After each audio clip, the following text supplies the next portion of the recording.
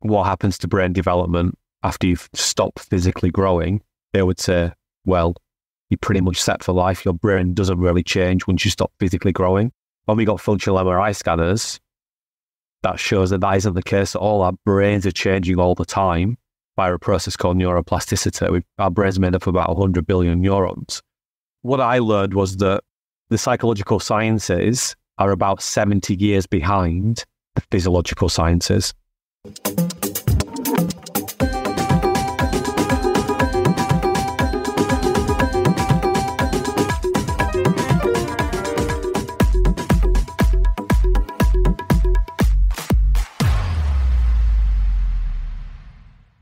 Imagine it's 12 months from now and you've achieved your major life goals. How does it feel to be in the best shape of your life? To wake up energized, excited about the day, to have great relationships and friends who support you and propel you forward. How does it feel to have an excess of money, to be able to make the choices you want, to be fearless and open to trying new adventures? Imagine being connected to the universe and it providing everything you desire. It's possible over time, and your past does not dictate your future. The only thing holding you back from this vision is you. It's time to take control of our thoughts and use them to our advantage. Welcome to Richer Soul, where we achieve our dreams and bring balance to health, wealth, relationships, time, and spirituality. If you have not had a chance to listen to episodes 1 through 9, I encourage you to go back and listen to the framework behind Richer Soul and how to create the life of your dreams. You can also find all the show notes for this episode at richersoul.com. Hey, it's Rocky. Welcome to Richer Soul. Today's guest is Dr. Jon Finn, who will teach us to be a habit mechanic. I do not know who said today's quote, but it's super applicable to today's episodes. Habits are like cobwebs that turn into cables. They can then hold you up or pull you down. So that's the question Do your habits pull you up or do they pull you down? Our guest is going to talk about that today. He's a high performance coach. His name is Dr. Jon Finn. He is the founder of the award winning consultancy Tougher Minds. He's got over two decades of experience expertise in performance psychology, resilience, and leadership science. He's worked with top companies and elite athletes worldwide, researching how to adapt habits that drive high achievement. His book distills all of these science based techniques down to simple steps that we can all take to build empowering new routines. He'll chat with us today about insights from neuroscience, psychology to help us understand why we get stuck in ruts of destructive thinking and behaviors. The reality, as we've talked about before, our brains are wired to conserve energy by relying on ingrained habits, even if they're harmful. So, if you struggle with this like I do, You'll get a whole new perspective and some ideas on some changes you can make. Let's meet our guest. Welcome to Richer Soul, Dr. Jon Finn. It's great to have you join us today. Well, thank you for having me, Rocky. I'm delighted to be here. And I am excited to learn from you today. We always like to start at the beginning. What was it like when you were growing up, and how much did your family and school teach you about money? Yeah, my father's self employed, self made guy, came from nothing, very successful business person now. So I think having the leader of the household who was scrapping and fighting to create his own business, which went through ups and downs, I think, as every business does. That was really interesting. But I think it always made me aware of the scarcity of money and resources, there wasn't always a guarantee that we could even, it never got to the point where we couldn't put food on the table. But, you know, there was sometimes some warnings we need to be careful with money now because things are not so good. Um, but also seeing the flip side of that when things were really good. And um, so I think really overarchingly just the consciousness, a lot of my uh, friends, families, you know, had just steady, normal jobs. So there was always that income coming in. They would be going on holiday every year. They would always know where the next thing was coming from. Whereas I suppose in our household, it was a bit more boom and bust. Um, and then having set up my own business myself, I think, um, yeah, I'm aware of that. Even though things might maybe going well right now, you never know what's around the corner, especially in the world that we live in. And I think the probably the most important thing, I, I suppose this ties back to money, is that one of the one because I used to work as a as a younger um, as a younger guy, I'd work labouring in my dad's businesses and also my grandfather's businesses. They're, they're all very entrepreneurial outside of the family. But this idea that you never lose an hour. So every hour you invest in something is going to pay you back in some way, even if um, it isn't immediate. And that's how I, I still like that thinking that all this time and effort that we invest in ourselves as self employed business people, it's going to come back. It's going to pay us back at some point. So, yeah, so that's a little snapshot, I suppose, of my relationship with money and um, what I learned as a kid growing up.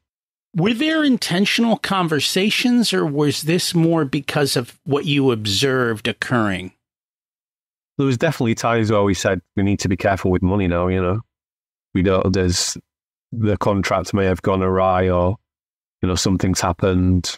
My dad's pivoted a few times, so yeah, definitely aware. We need to be conscious with money. Do you think that put limits on you later in life as you started to get older and make your money and do your business? I think it's part of how I, my core belief systems about how I think about myself. I think I'm pretty good at managing money. Um, I know some people that are not good at all. Um, I think I'm pretty, pretty good. And I think a lot of that goes, you can go back to those roots, you know. And that makes a lot of sense. Yeah. I, it, it's funny how the entrepreneurial world seems to be boom and bust, and everyone thinks having a job is safe, except in today's economy where everyone gets laid off, and then you really see the bust. But people don't seem to be aware that they can lose their job. They think it's safe, but in the reality of this ever changing world, it isn't so safe. And, and as technology comes along, so many careers are obsoleted but at the same time, so many new things are created. Yeah, I think that I know lots of your listeners run their own businesses, and I think until you have, you don't really know what it's like. I think people that don't run their own businesses really underestimate how difficult and challenging it is. But also, it's deeply rewarding. We have the quitting quietly movement at the moment, don't we, where people are just turning up and going through the motions. I just think, why do you just set up your own business? If you don't like what you do, just put all your effort into something you do like doing.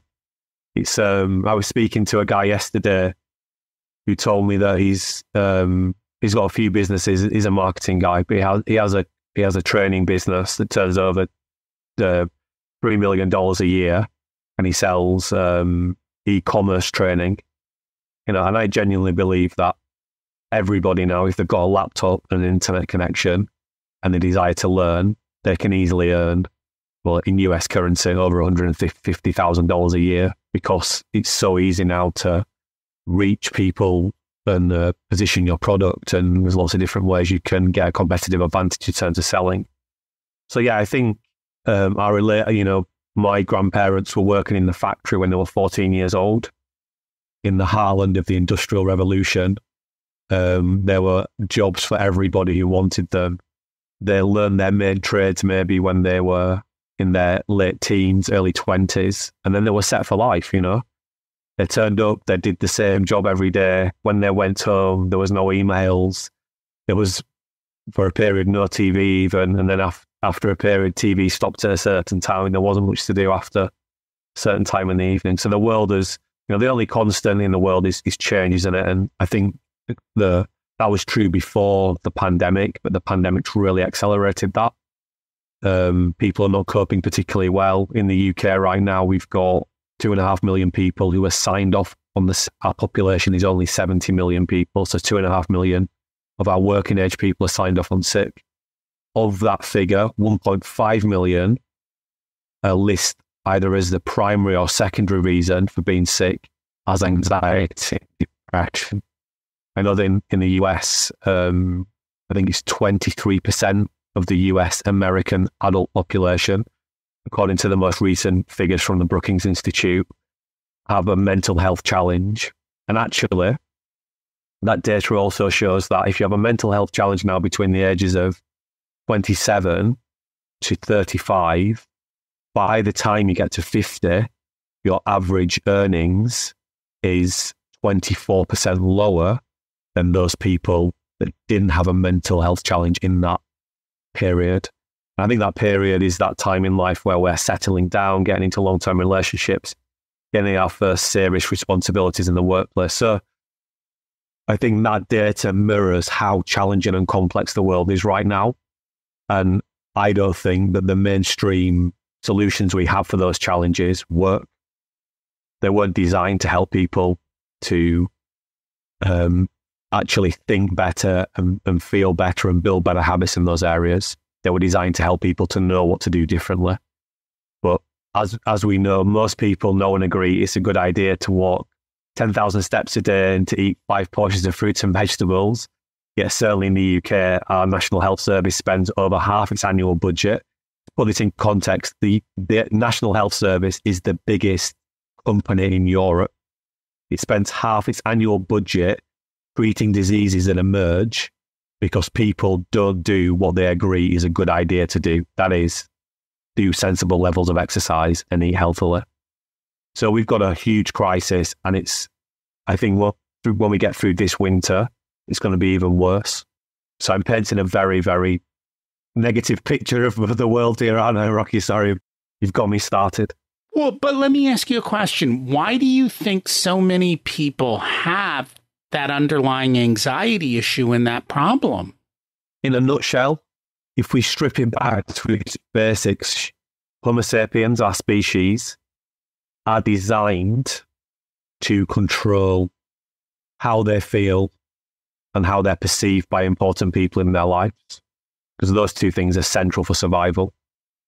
And right now, we live in a world where we are being bombarded almost on a millisecond level with information that challenges um, those two ideas. So, or that makes me think that I can improve one of those two areas. So that is how I feel. So I'm going to check social media. I'm going to eat the donut. I'm not going to go outside for a walk. I'm going to stay up later. Or that makes me think I can increase my social status in the eyes of important people in my life. So we're being bombarded by things to a level that our brain is just not designed to, to deal with that volume of information. So I think that just the basics of sleeping well, eating well, exercising properly, those basic things we need to do well to get our brain working well are harder than ever to do than ever before. So I think we can, I absolutely believe that we live in a period of history where it is more difficult than ever before to feel well and do well, and by extension, lead well, because we are just being bombarded. The last bastion of good sleep, good diet, good exercise, and the reason they're important is because they get our, help our brain to work well. The last bastion was exercise. So we got to a point nearly three years ago now, or maybe it's more than three years ago, you lose track of time with the pandemic, where people didn't even have to leave the house anymore to work.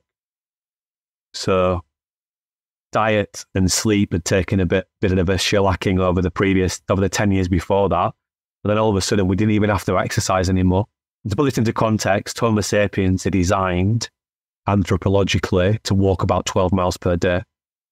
We are designed to move around and solve problems, problems relating to survival. Oh, so in other words, we're designed to get control over our environments, feel good, how we perceive by others. So it's, it's harder than ever to get our brains working well.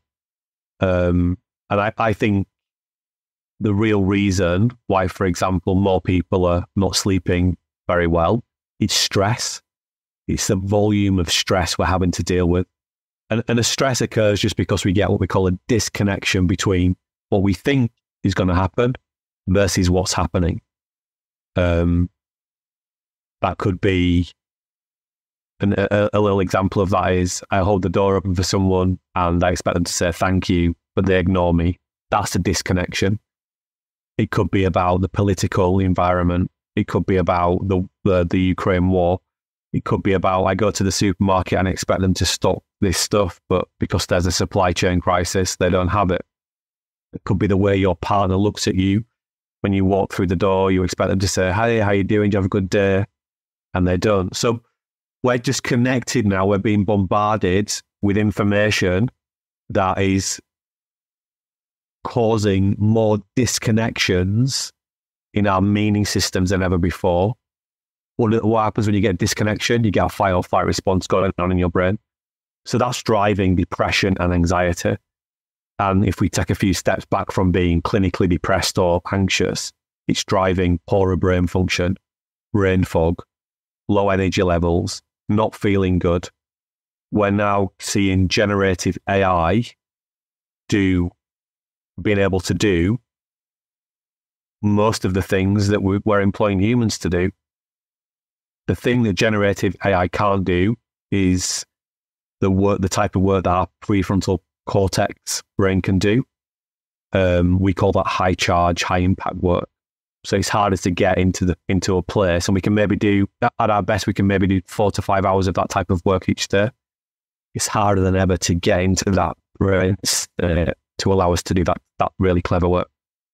So there's a whole there's a whole buffet of things. Sorry that I'm covering here, Rocky, but I suppose it's quite a broad introduction to some quite challenging things we're experiencing as human beings, individually and collectively. And they're not going away; they're getting more intense. So we're going to dig into all of this in your book. Before we do, I want to take a step back. How did you become an expert in this? You've got a quite a bit of education, and you've worked quite a bit, I believe, in sports psychology as well, or, or with elite athletes, correct? Here's a short story. I was always very good at playing sport.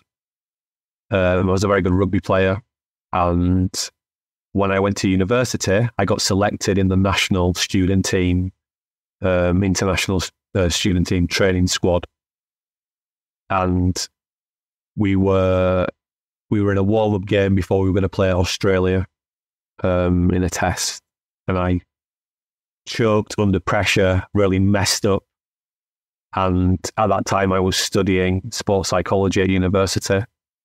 And I was, it really just brought home those lessons I've been learning in the lecture theatre and the seminars. And why am I not thinking in that way? Why am I telling myself I, I'm going to drop this ball instead of telling myself, catch the ball, I'm going to catch the ball. But anyway, so that, so I had this elite I suppose not maybe not elite level, but um, high high level sporting experience that really brought home the the sports science lessons I was I was learning at the university. At that time, I'd ruptured quad muscle, which meant that I just couldn't train anymore to the intensity that I needed to train. And I was 19 at this point. So I was studying sports science, uh, physiology, psychology, motor control, nutrition. I really liked the sports psychology. And I thought, well, if I can't compete as an elite athlete, a high level athlete, maybe the next best thing is to support athletes that are and coaches that are, that are working in that space. So I then went to do a, a master's in sports psychology. I then went to work in elite sport, um, soccer, rugby, cricket, golf. They were the main sports I was working in. And then I got really interested in some of the things I was seeing, especially with the transition of elite young athletes and why some of them made successful transition into the senior teams and why others didn't. I did a PhD to learn more about that. So I then did a PhD in uh, performance slash developmental psychology. And that became the foundations for Tougher Minds, where we then continued to work in sport, elite sport, as we still do. So we work with the Premier League soccer managers, um, for example, but also we created an education program and we created a business program. So we now work across all those different contexts, but it always starts with this is how our brain works, and here's how we can get our brain working better and automating more of the things that are going to make it easier for us to be healthy, happy, and at our best. And I think that was the biggest thing I learned. I used to coach soccer when the kids were young. So I would coach them at middle school up through high school and so forth. And I would always try and get into their brain that there are two halves of this game. The one half is your physical abilities and your skills. The other half is your mindset. And I found at that level, nobody was talking about their mindset and their their abilities and their desires of how to win, how to think differently, how to behave differently, and how much their attitude changed everything. You could see it, but they wouldn't always get it. So it, it, it was interesting. It really helped me get a better understanding in working with them. And I'm sure you're at a much, much higher level than I ever was with the kids. And that's what we'd like to talk about today. So let's start with the book. What inspired you to write the book Habit Mechanic, fine tune your brain, and supercharge how you live, work, and lead? Yeah, so the Habit Mechanic book took me over 20 years to write. So there are bits of my undergraduate dissertation in there, for example. So over the past 20 years, and this is all I've ever done this career, is working in the fields of performance psychology, resilience, leadership development, team development, culture, etc. We've been constantly tweaking, refining, tweaking, refining our, our program. And what the Habit Mechanic book is, it's a manual for life. It's a toolkit for success. It's all that training we've developed over all those years in a in a manual in a book, and it works with the Habit Mechanic University app, so that we can utilize some of the powerful uh, digital technologies that make it easier for us to change our behavior. The basic premise. This is why this is what I've observed over the past twenty years. So I've I've done, as I said, these three degrees I got told that if you can get people to know what they need to do to be at their best, that's it. You've nailed it. So in your example, Rocky, if you can get the kid to know you need to be thinking in, in this type of way to get the best out of yourself on the field, fantastic, you've done it. But I went into the field and I tested those ideas out and I quickly learned that people don't do what they know they should do. People do what they're in the habit of doing. And as I was very lucky that when I did my master's, I studied um, with scientists that were really keen in bringing the latest thinking into their teachings. And When I was studying my master's, it was a few years after the French government had decided to invest in functional MRI scanners. So, for the first time ever, we had this mass technology available that researchers were using to look inside brains in real time. We'd never been able to do that before. We had some um, understandings about human behavior and, and, brains that are absolutely not true. So if you go back to about 25 years ago and you're asking the top neuroscientists in the world what happens to brain development after you've stopped physically growing, they would say, well, you're pretty much set for life. Your brain doesn't really change once you stop physically growing. When we got functional MRI scanners, that shows that that isn't the case at all. Our brains are changing all the time by a process called neuroplasticity. We've, our brains made up of about 100 billion neurons.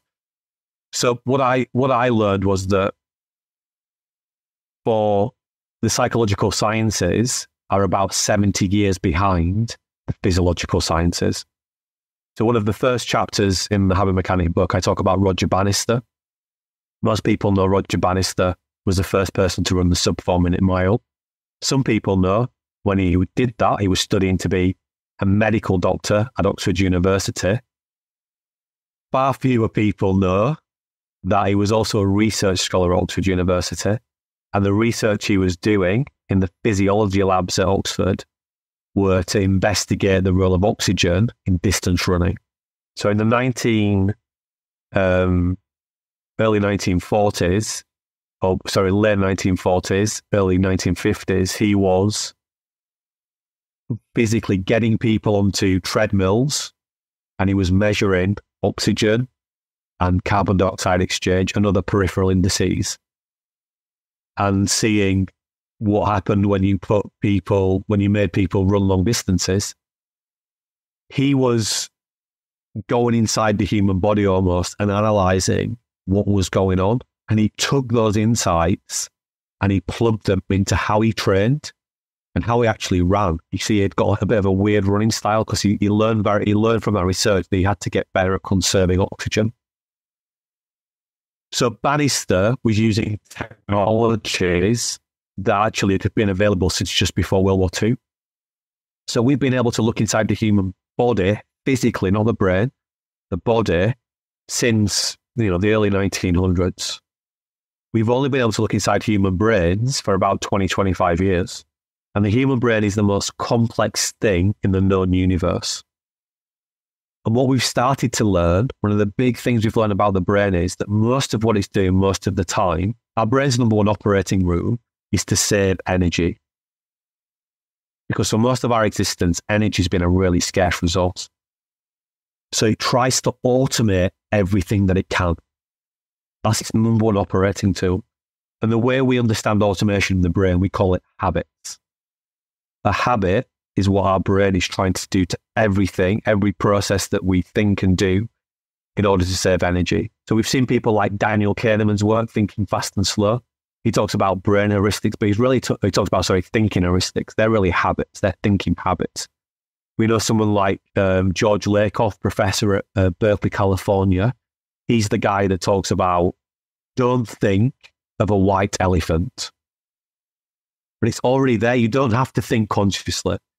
We know people like Daniel Dennett talks about our brain has the equivalent of a trillion minuscule cogs whirling round mindlessly. We we can't conceptualize what a trillion is. It's, it's too big for us to understand.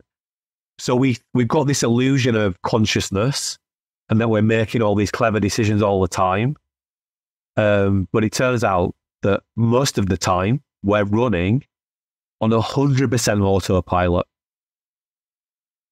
At our best, we have 2% consciousness. But at our best, we're running on 98% um, subconscious uh, thinking and doing. So we're running on autopilot. So the basic assumption of psychology helping individuals to think better so they can do better, helping leaders to think better so they can lead better. The basic assumption is that if you can get people know what to what they need to do to do it, they'll be able to do it. Even in CBT, that's the assumption. Here's how you think, and how you think impacts what you do.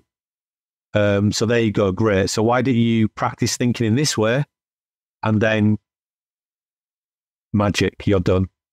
Doesn't work. I, I read a study um, earlier this year, and it was a, a big study on depression.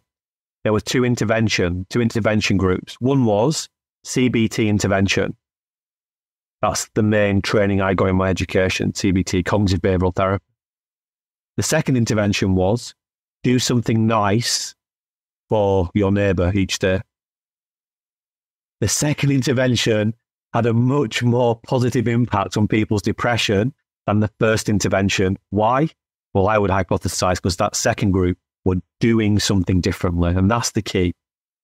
So most of the psychological models, theories, training, the leadership training uh, theories, the team development, the culture development are based on what we call black box theories. They're based on this. Is, this includes things like psychometrics. Psychometrics would have their all psychometrics have their roots in science. It's about 100 years old, way before we understood how brains actually worked. So, what we mean by a black box is that they're based on theories that were designed before we understood how brains work. And therefore, they're broken. So, what I've done and my team over the past 20 years is we've taken the latest insights, not just from neuroscience about how, how brains work, but also from behavioral science about why we do what we do. And we've coupled that with applied psychology and we've created an entire end to end program that people can use to, first of all, understand how their brain works. Secondly, to analyze their habits, both um, an individual level, but also a team and a leadership level. And then we've given them the toolkit so that they can start to build new, sustainable, helpful habits. In simple terms, destroy their destructive habits and build more super habits. That is what the habit mechanic book is. I got fed up of reading books that repeated the same idea uh, 10 times, right, across 10, across 10 chapters. Um, they're just uh, a long article drawn out. The habit mechanic, I'm sure as you can testify to Rocky because you've read it, is is a toolkit. It's a manual for life. And when you plug the app into that, and we also train people how to become certified habit mechanic coaches. We've got a really powerful, unique behavior change system that you can use individually in your team or across an entire organization. Um, and we've just released our app very recently. So we're really excited now about we we knew for years and years we ran training where you go into the organization, go into the hedge fund in the city of London, or even in, we go to America, get great feedback. People love it. It's simple, it's practical, it's based on science. I can use it now.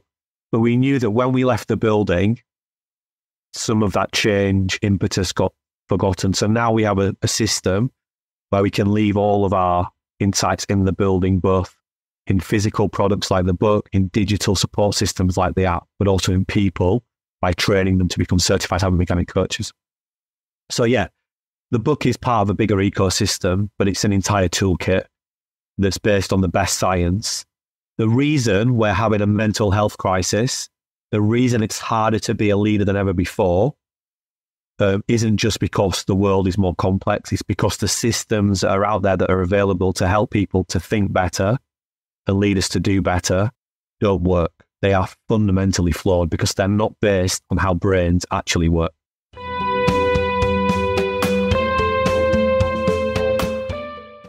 Today's episode is sponsored by Profit Answer Man Podcast. Did you know that most small business owners hate looking at their financials? It's one reason they may struggle with business success. The Profit Answer Man podcast helps them ensure they are profitable and can pay their employees and weather the storms we all have to face. It's built on the profit first methodology of pay yourself first. The Profit Answer Man podcast is a must listen to for every small business owner and anyone who wants to help them survive and thrive. Check it out on your favorite listening platform.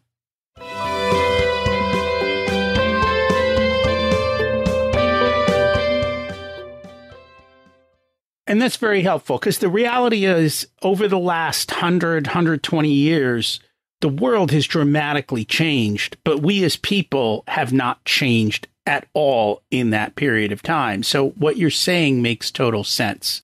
Just touching on the story of Roger Bannister, when I hear this story by told by most people, they all talk about it like a mindset shift. Oh, people didn't think it was possible until he did it but nobody talks about what you talked about, which is the science behind how he did it. They all looked at it more like, oh, it's just a mindset shift. It was much more than a mindset shift. It was understanding the science of how our bodies work and then making that shift. A while ago, you, you said that you studied why some people make the jump from the level that they're at in sports to the elite level and some don't. What is that differential that allows some people to make the jump and what keeps others from doing that? Yeah, the key is being able, well, in our language now, the key is to become a habit mechanic. But that means getting really good at understanding and regulating your emotions. So emotions are the immediate drivers of, of, of what we think and what we do. Sometimes those emotions are helpful in getting us to think and do things that are helping us to be at our best. Sometimes those emotions are unhelpful. So it's getting good at recognizing those emotions, but then being able to manage them and actually being able to manage them so that you build what we call implicit emotional regulation habits. So emotional regulation can be very uh, effortful, or can, we can get it to the point. So it's almost like a habit. So it's implicit. It happens really fast. So it, in other words, emotional regulation can be quite a slow, effortful process, or it can be a really fast process. We help people to build fast, implicit emotional regulation habits. But you know, because that's a scientific term, it's confusing. What someone like Roy Baumeister would call so the, the neuroscientists call it emotional regulation. Someone like Roy Burmeister, Roy Baumeister, um, who's been cited over 200,000 times. Um, he's, he's the willpower guy. He talks about emotional regulation. And the outcome of of both those things is what I would call resilience. I see resilience as a two part process. The first thing is to recognize that I'm doing or thinking something that isn't helpful for me. The second part is to be able to do something about it, be able to take positive action and ultimately create a different habit so that the way that you naturally, habitually do things is more helpful for you. Can you give us like an example that's more, you know, daily life? Like, what would I do in daily life that I need to better my emotional regulations around? How do I catch it and how do I change it? Yeah. So, what I will point out is if you go into the habit mechanic book, there are loads of what we call habit metrics tools at individual level, at team level, and leadership level that make this very tangible. But just one example from a leadership level, I recognize that the way I communicate with my team is overly negative. Um, so that's step one. I've recognized that I've caught it. But, you know, I may have been aware of that for quite a while and haven't done anything about it. So if I'm good at regulating my emotions, if I'm becoming a habit mechanic, what we call a chief habit mechanic, I'm able not only to recognize that, but to build a different habit in how I naturally communicate with people. So you would use what we call the action communicator self assessment, which is in chapter 33. And you would start to use our habit building systems and our behavior change systems to help you to build a different way of naturally communicating so that even when you're under pressure and you're a bit tired, that becomes your default default way of communicating.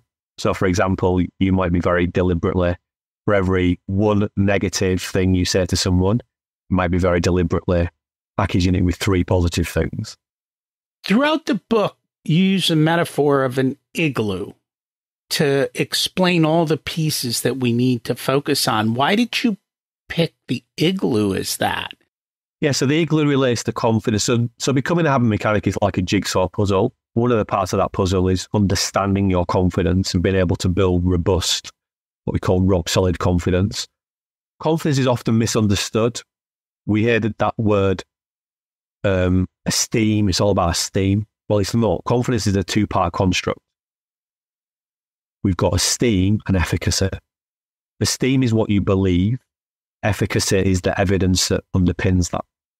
Now, here's an interesting thing. In the 1970s, the American education system identified that confidence was really important for young people being successful in later life and in, education. So they said, how can we increase the confidence levels of our young people? So they said, well, why don't we make it easier for more people to get higher grades? Why don't we create a system where people don't lose every anymore, everyone wins? And you understand the things I'm talking about because they're real and they were implemented. And the lady called Carol Dweck, um, sorry, a lady called Jean Twenge, eh? Jean Twenge, she wrote a book called Generation Me. Jean Twenge now is uh, very high profile in looking at the damaging impact of social media for, for young people, but also adults. The stories get um, get squashed very quickly from you know feeds in social media news outlets because none of it is any good in terms of the, the consequences for using these devices and tools. But Jean Twenge, she, she studied this, that she studied confidence levels, huge sets of data in young people in America, and she wrote it up in a book called Generation Me. And she found that what, what the confidence intervention actually did was it created lots of people who had very high esteem, but very low efficacy. So, in other words, it created a generation, and it's still here and it's getting worse, a generation of people that have very fragile confidence levels. So, they have high levels of belief in themselves, but when they get to setback, they crumble because they don't they don't have the evidence to underpin why they've why they're why they're good at this thing. So that's why we created the igloo to show, look, being confident and your life, any of our lives, is like a house in a state of igloos. If we're thinking about ourselves through a confidence lens, we might have an igloo for our leadership. We might have an igloo for how good we are as a parent. We might have an igloo for how good we are at golf. We might have an igloo for how well our MBA is developing. We might have an igloo for how good we are as a friend to our uh, friend, to our family members, etc. And each of these igloos, you could rate, so you could list down what are the most important components of your life, and it might generate some of those uh, things that I just said then. And you could say, well, out of ten, where is it? Where is each area? Ten being it's perfect, one being it's an absolute disaster. And then you can start to zoom into one area. Let's say it's leadership you want to work on and you could say, right, well, what am I? Where's my evidence that I'm that I have? So let's say I scored myself a five out of ten as a leader. Where's my evidence for that? Okay, I'm a I'm a really good communicator. I'm I I model things well. I know my job really well, and you could list. So you're listing down the the ice cubes in the in the igloo. This is your self efficacy. It's your evidence. And then you say, okay, what's the most important thing I need to improve? You might say, well, I need to get much better in my language as a cultural architect so I can get much better at setting the strategic vision and you know getting people to buy into that. So that's why we use the um, the igloo metaphor.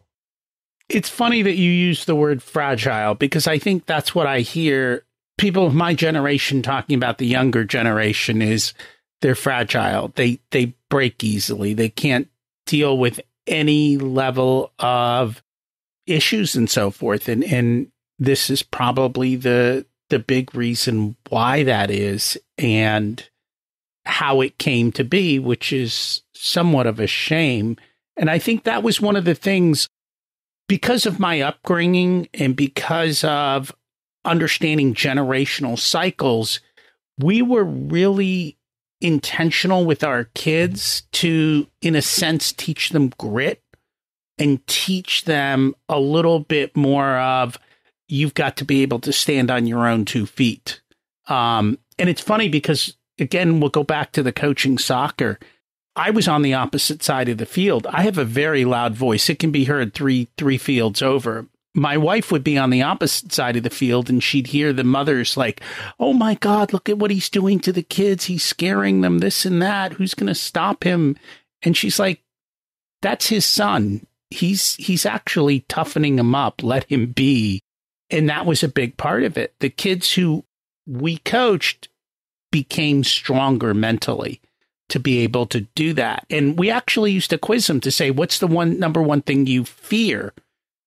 in being on sports teams and they always said getting yelled at, which now that was a problem for me. But I asked about it. And what they said is, we don't mind getting yelled at if you're encouraging us to do better.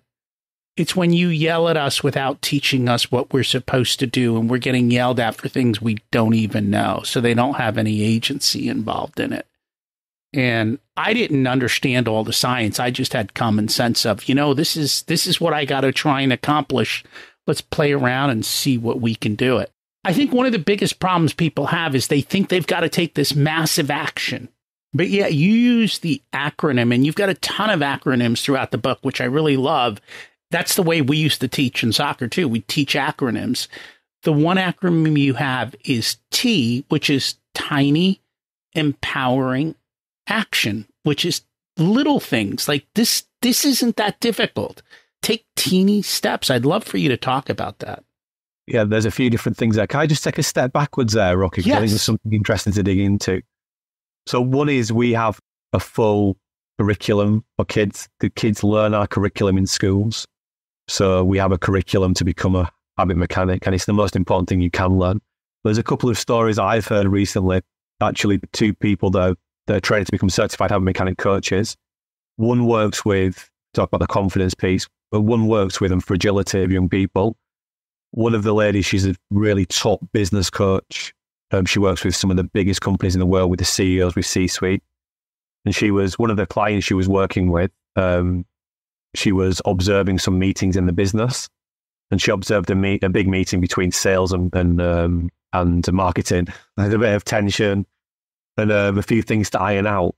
And they got to the end of the meeting and she followed up with everyone and said, How do you think that went? And the senior people said, Oh, yeah, great, really good. We really got to the number of what we need to get, get to there. I think we've really made progress. The junior members said, Didn't go well. No, that didn't go well. So why? Well, there was conflict. Uh, people disagreed. So that's that's the that's the world we're living in now, where people believe if there's a disagreement, there's a big issue. So we've got a real problem on our hands. We cannot move, make progress, and learn and develop without setbacks, without tension, without disagreement. I thought that was really interesting. And the second thing, actually, we started to work with one of the American armed forces. We're working with the Air Force at the moment. And um, we just, someone read in our organization, read our book, and they said, Look, I've got, I've been in psychology all my life. I did an undergraduate, I did a master's, I've been in the Air Force for 44 years.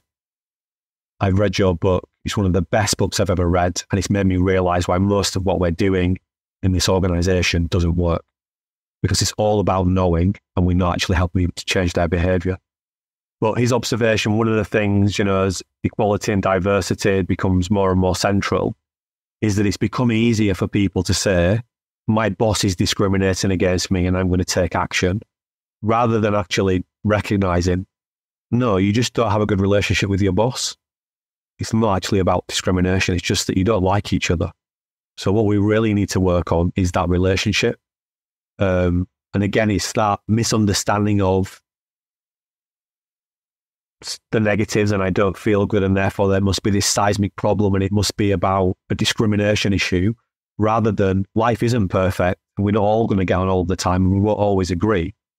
So I see this as being really the, the, that basic issue of what the, what the ice, the igloo is speaking to is fundamentally problematic um, in our, in our, in the fabric of our society, and it's not going away. Um, so, yeah, the good news is we can do things. We can help people to make sustainable change. We have a model called the nine action factor model. It's our, it's our proprietary behavioral science model, completely unpacked in the book. We can use this, these nine factors, they are driving everything that we think and do individually and collectively. Um, I say to business leaders, forget about human beings being the most precious asset in your business, forget about human capital. You need to start focusing on habit capital because habits are running your organization and habits are not logical. They're not clever. They're not empathetic. They're just running round and around and around. And that's what most of us human beings are doing most of the time. And habits are driven by nine core factors. And here's the good news we know what those nine core factors are. They're always on in all of our life, they're always on in all, all of our organizations. These factors drive a culture. And we know what they are. We can start to get them working for us instead of against us. The first factor is the tiny factor, which is what you were speaking about, the T acronym, tiny, empowering action as human beings, we can absolutely learn how to do things differently. We can learn how to think differently. We can learn how to do things differently. But we can only make tiny changes because our brain's number one operating rule is to save energy. So it doesn't like giving out, investing loads of energy into something that doesn't give an immediate reward. So an example of the tiny factor in action is, okay, I want to, I recognize that I need to get into shape a bit more and it would be a great idea if I started to do 50 sit ups every day and 50 um, push ups. So you set off in January, and the first day you do 50 sit ups and 50 push ups, and you feel like you're going to die at the end of it. And maybe you do it again, you, you do it for a week.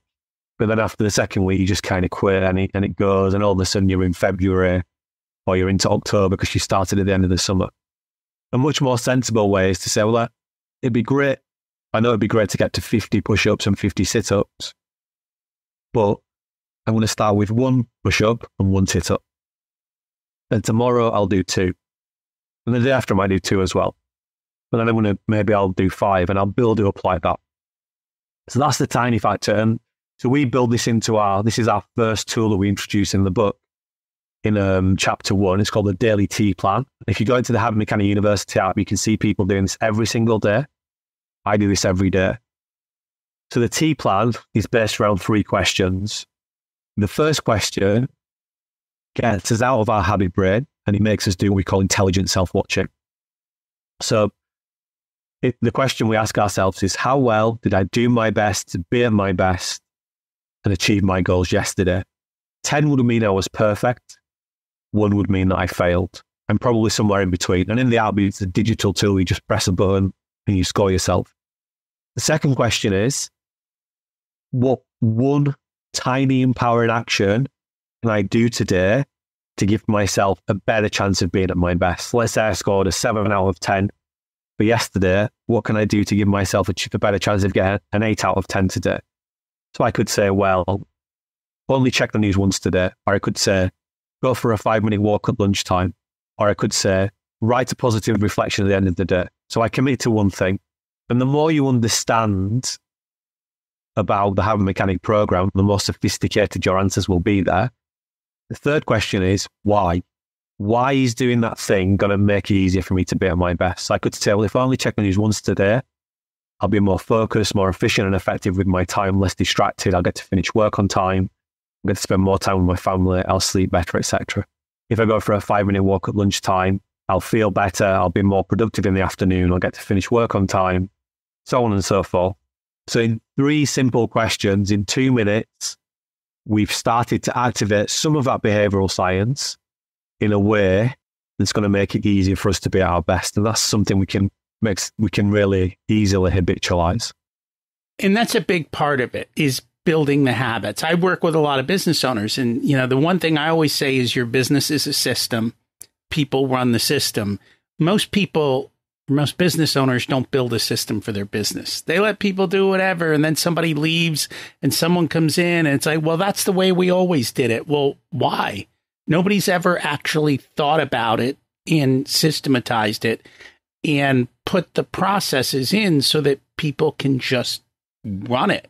And the other thing we do is we have them build tiny habits. So when we started this conversation, you talked about your dad and how business went boom and bust, boom and bust.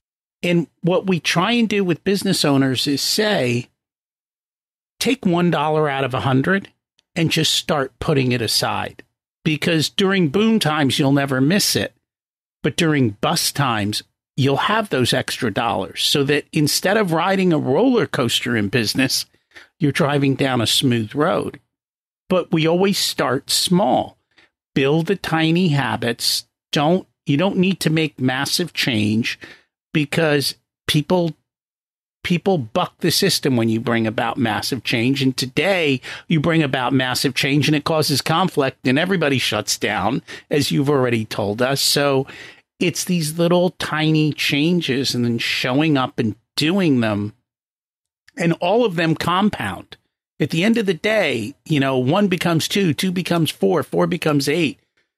You go out 31 days, and if you can double every day, you're at over a billion in in results and and that is massive and no one even needs to do that i mean even if you can just do a little bit i think it's the power of showing up and making the the tiny tiny changes one of the things that you also talk about in there and i think that's also helpful is it helps to define where we want to go. You know, I call it purpose, but you talk about it in the book as the future ambitious story. Where is it that we're going and what are we trying to achieve? Future ambitious, meaningful story. Yeah. This is the thing is the tiny changes are only one of nine factors. Personal motivation is another one. And I can I can unpack all of those if it's helpful. But yeah, so in order to fire up, so we show you what those nine factors are that are driving your behavior. So tiny is just one. Um, personal motivation is another, and we give you the tools to to to activate them for you. So the future ambitious meaningful story uh, in the art we separate it into daily and weekly goals and long term and monthly goals. But it's a way of intelligently structuring your goals. The metaphor we use is an iceberg, so we're building on the igloo ice metaphor. So we've got an iceberg. The top of the iceberg is a distant future. The bottom is today and it gets us periodically mapping out well, what do we want to have and do in the distant future, 10 years plus. Sometimes that paralyzes people because they don't want to commit to something. But I've never met anybody that doesn't want to be healthy and happy in the distant future. So I know that can always be the apex of what you want to work towards. And then you can say, well, if I want to be healthy and happy in the distant future, what does that mean I need to do and achieve in the next one to four years? And you could put some financial things into that if I want to achieve those those things in the next one to four years, what does that mean I need to do in the next 12 months? What does that mean for this month? What does that mean for this week? What does that mean for today? So we don't just show you what it's a good idea to be doing. We give you the tried and tested science backed tools so you can activate it straight away, not only in your life, but in the lives of anyone that you want to help to be at their best. And that's important. That's what I tell people. When you know where you're going, it becomes easy to make decisions because you know where you're going. Is this taking me there or isn't it? And now all the decisions that you thought were so big are now so easy because you have clarity on what you're doing and doing in there. You also talk a lot about food, about sleep, and I know you've kind of touched on it. I believe you also talk about breathing in the book, correct? Yes. Yeah, so everyone listening to this podcast is breathing. And we don't know how. yeah, well, we, this is the thing. Yeah, so it's always happening. It's a habit, right? And this is, people say, well, I don't believe that most of what I'm thinking and doing most of the time is a habit. And people also say, I don't think I'm thinking all time. If you don't think you're speaking to yourself right now, notice how you've just said to yourself, I'm not speaking to myself. I'm not crazy. It's here, it's all the time. We're just not wired to think of ourselves like this. So when we um, when we experience a disconnection of meaning systems, in other words, a stress response, the fight or flight reaction kicks in. That's a two part process. This, this is happening in milliseconds. Let's just say an inbox, a, um, an email lands in your inbox from that person that you don't want to get an email from. Straight away, that gives you a final fight response. It unfolds in two ways. The first thing is you get this quite complex reaction in something called your HPA axis. So you're getting ready to do something, and there's lots of neurotransmitters that flood into the brain at that point. But the thing that we're interested in is that we start to breathe faster because that's the only part of that re- response you can control. So you notice that when you see an email from that person or that person walks into the room, you start to tense up a little bit, etc.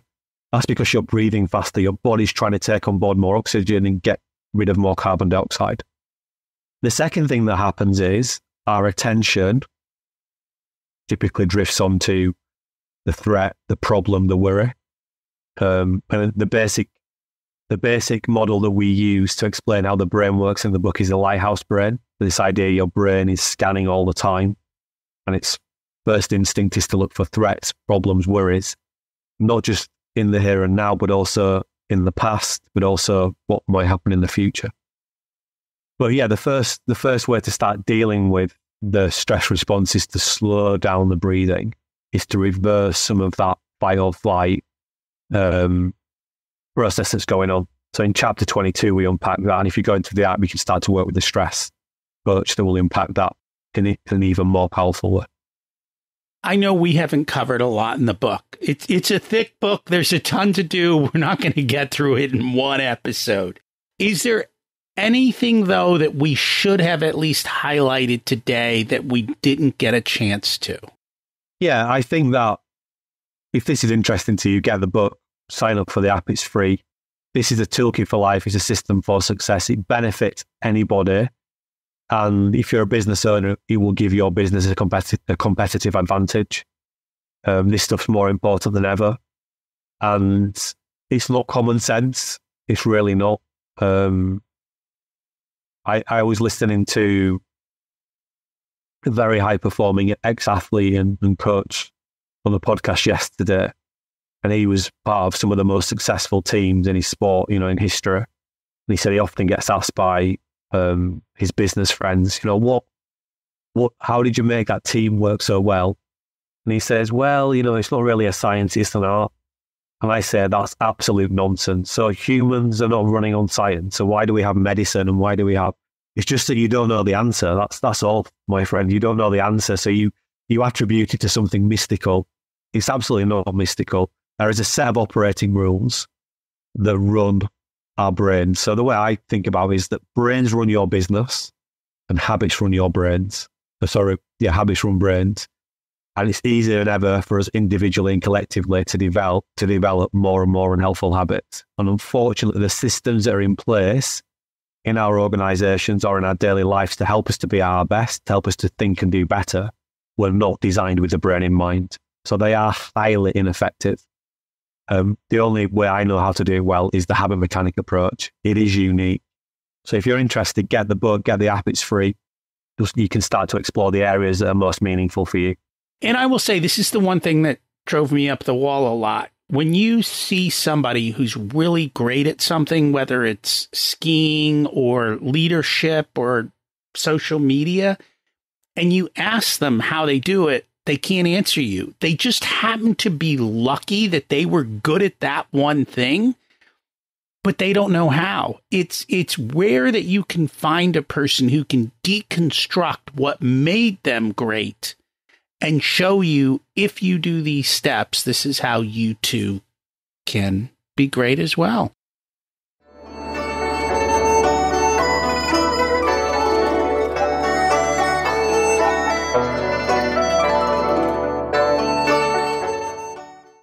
It's time to learn the secrets of life.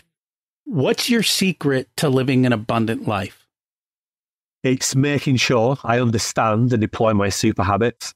So there are lots of habits running what I think and do, but some of them are more impactful than others. So something like one of my core super habits is every workday morning I go for a run first thing.